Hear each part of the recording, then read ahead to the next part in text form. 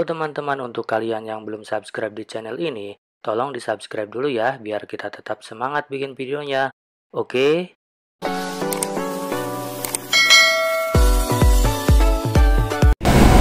Assalamualaikum warahmatullahi wabarakatuh Apa kabar teman-teman semuanya Kembali lagi di TU Channel Kali ini saya berada di Jalan ruas tol Pemalang Batang ya. Ini tepat di exit tol Bojong. Eh, Sebentar lagi mau keluar di arah eh, Pekalongan ya. Arah Kabupaten Pekalongan Kajen Nah ini jalur untuk yang para wisatawan dari arah Jakarta maupun Bandung kalau hendak menuju ke Dieng ini bisa menggunakan exit tol ini ya. Karena aksesnya lebih cepat lebih mudah ya. Dibandingkan dengan yang lain. Kalau uh, keluar di exit tol Setono sama-sama di kota Pekalongan tetapi itu lebih ke timur ya. Kalau ini langsung nanti exitnya di Bojong dan nanti bisa langsung menuju arah uh, akses menuju Dieng yang lebih enak. Oke ini sudah menuju arah gerbang exit tol ya.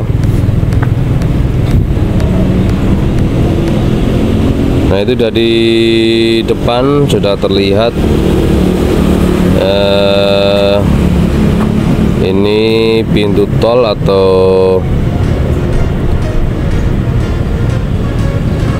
gerbang tol Pekalongan. Kita tap dulu.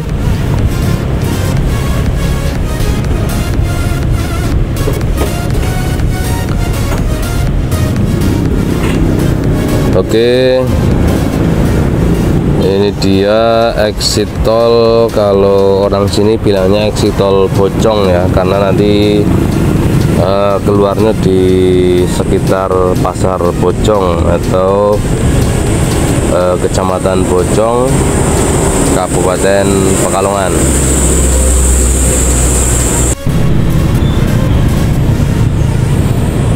Uh, untuk exit tol ini memang lebih belakangan ya dibukanya mengingat kebutuhan yang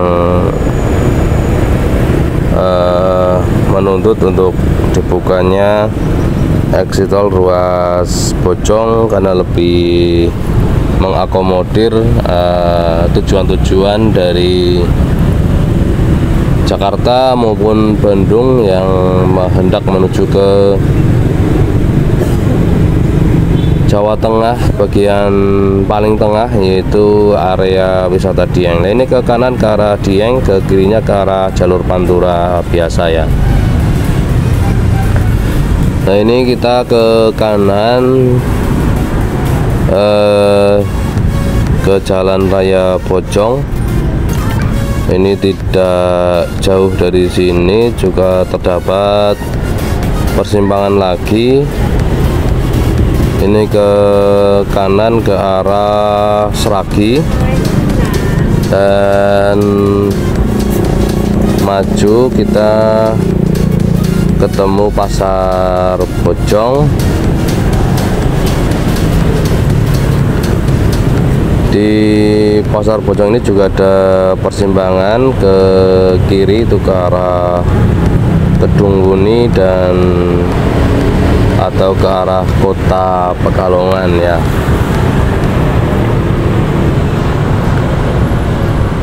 Oke lanjut lagi. Setelah dari Pasar Bojong kita tinggal lurus saja menuju ke arah eh, Kecamatan Kajen atau titik nolnya Kabupaten Pekalongan. Eh, jarak tempuh kira-kira ya di eh, 10 km ya kurang lebihnya. Untuk waktu tempuhnya paling ya 10 menit sampai 15 menit sampai di uh, Kecamatan Kajen.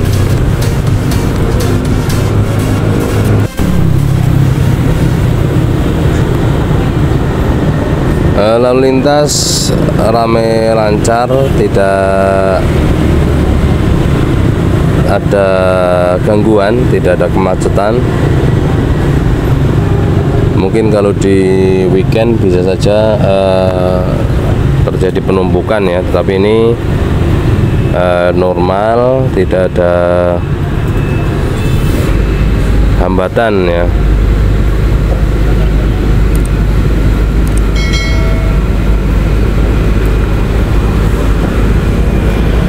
Tentunya ini jalur yang paling menguntungkan jalur yang paling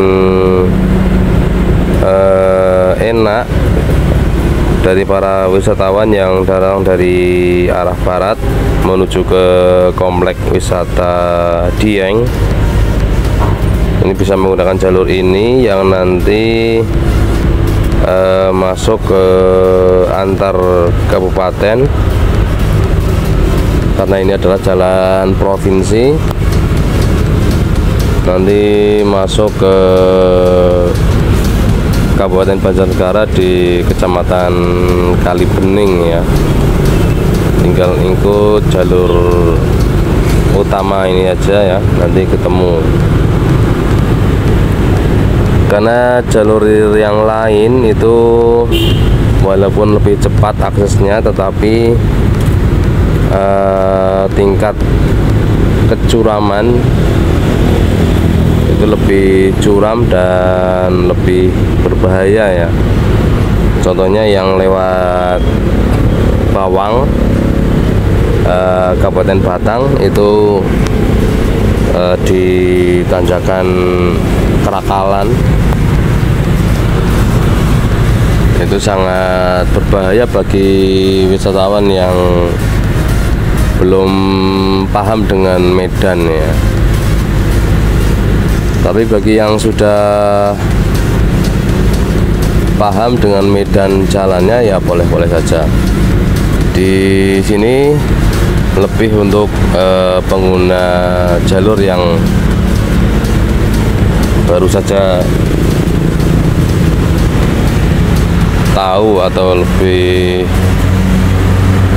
baru lewat sini ya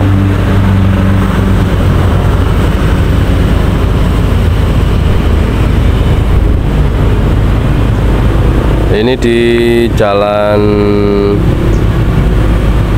Raya Bocong masih. Menuju ke perbatasan kecamatan dengan kecamatan Kajen.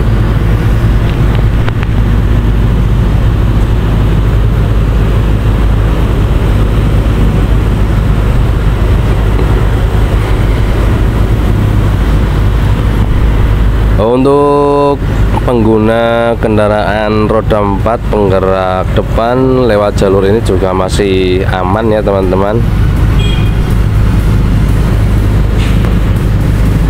Nah tentunya eh, dibandingkan dengan jalur-jalur yang lain seperti jalur bandar eh, jalur bawang ataupun sekarang yang baru ini jalur pacet belum sepenuhnya jadi ya. Masih bentuknya bebatuan ya.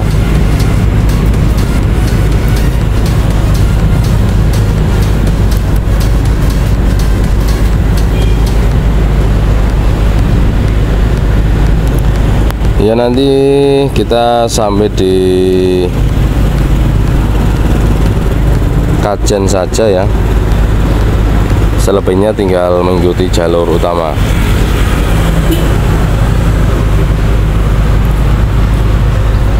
Oke lanjut terus.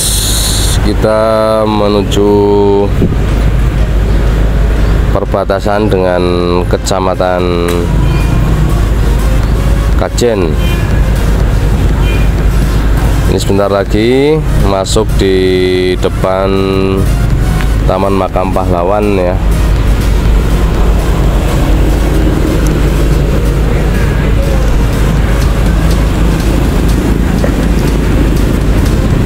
Oke, di sini sudah Jalan Pahlawan, artinya sudah masuk wilayahnya Kecamatan Kajen, Kabupaten Pekalongan.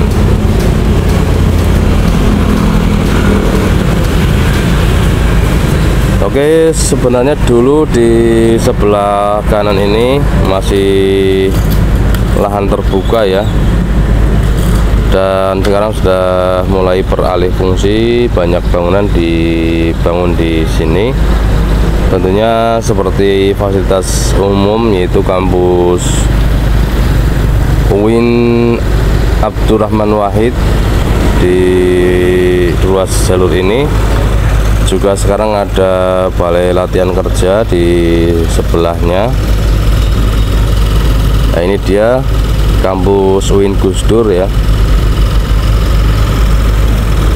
yang sekarang ramai diburu oleh warga Pekalongan dan sekitarnya.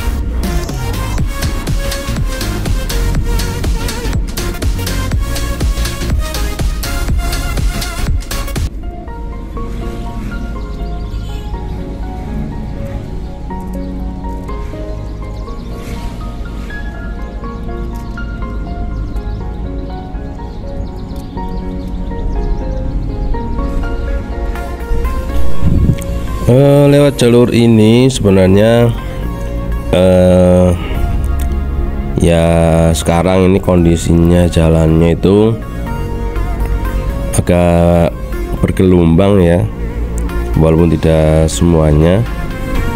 Ini kalau nanti di aspal ulang memang sebenarnya sangat uh, menggembirakan ya kalau saat ini masih ada sebagian yang bergelombang yang berlubang ya. Tapi tidak terlalu parah sih sebenarnya. Hanya saja uh, kalau ini diperbaiki lagi nanti efeknya akan sangat sangat bagus ya karena pengguna jalan di sini. Kalau jam-jam pagi berangkat kerja berangkat sekolah. Maupun jam sore pulang sekolah pulang kantor itu juga eh, sebenarnya sangat padat ya. Ya ini sampai di dekatnya pondok pesantren Al Usmani ini sudah masuk jalan raya Gejelik ya. Karena di sini daerahnya desa Gejelik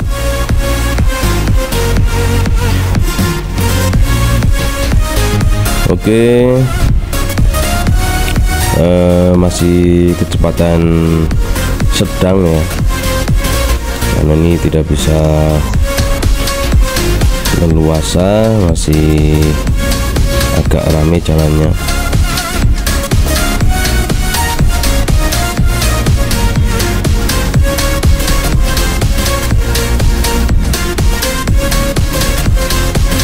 Ya di jalur ini sebenarnya agak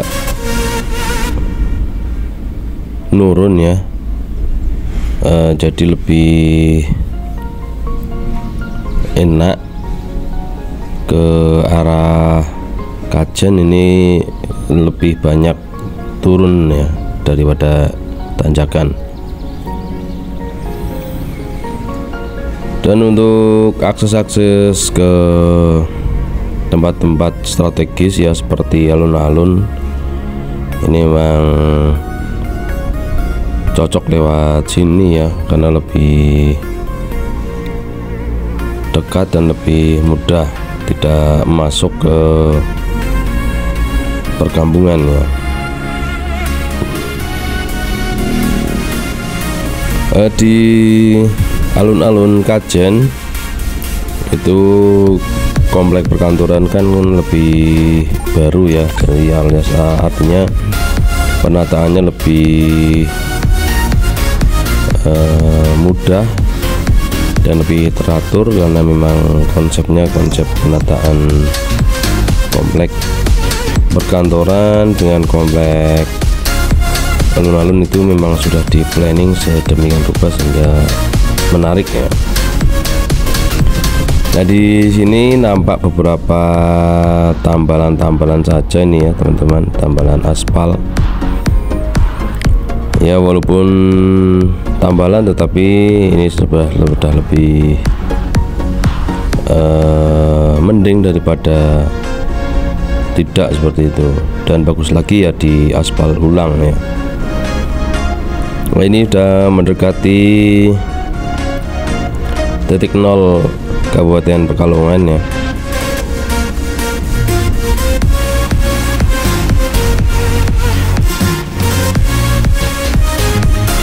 dan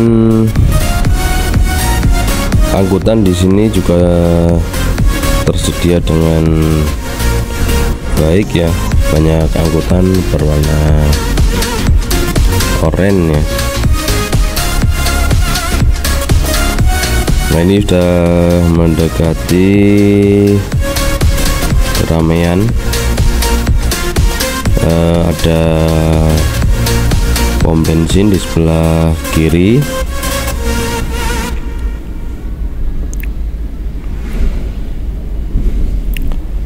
ini dia ke kiri juga bisa tembus di alun-alun ya atau sekitar komplek perkantoran Nah di kanan ini adalah kampusnya SMA SMK Muhammadiyah ya.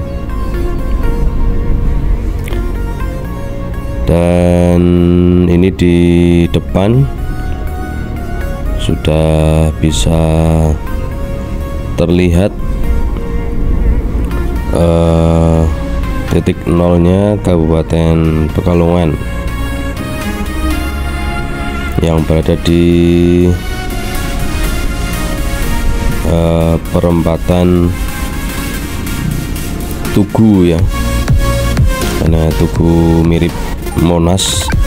Ada yang bilang Monasnya Kabupaten Pekalongan ya ada di sini untuk ke kiri ke arah alun-alun Kajen dan ke kanan ke arah Sesi ya. Nah ini dia titik nolnya Kabupaten Pekalongan. Kita ambil yang lurus menuju ke arah Dieng atau ke arah Banjarnegara ya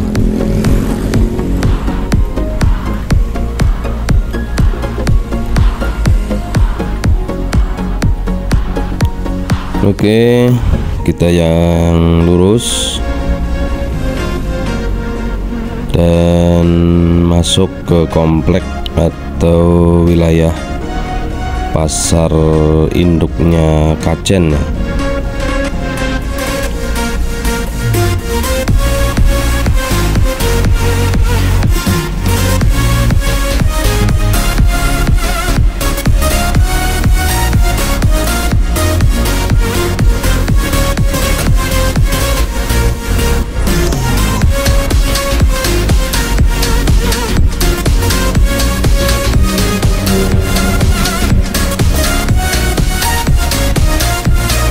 ini uh, komplek fasilitas umum seperti SMP ada SMA Negeri 1 Pekalongan.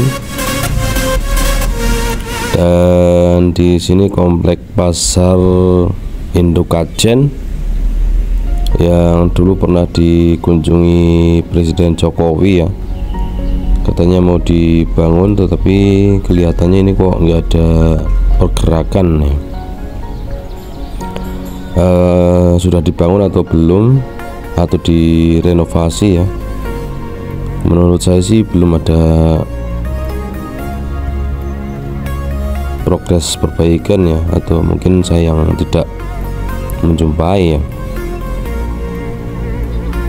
Oke ini dari arah kiri itu dari arah alun-alun atau dari arah Karanganyar menuju sini ya menuju Kajen.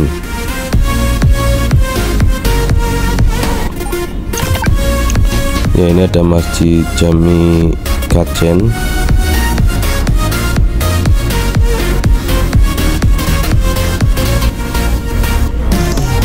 Dan untuk menuju ke wisata Dieng kita tinggal lurus. Nanti masuk ke kawasan Linggo Asri ya. Eh, mungkin sampai sini dulu teman-teman. Review jalur dari exit tol Bojong menuju ke arah wisata Dieng. Eh, mudah-mudahan bisa membantu teman-teman semuanya. Terima kasih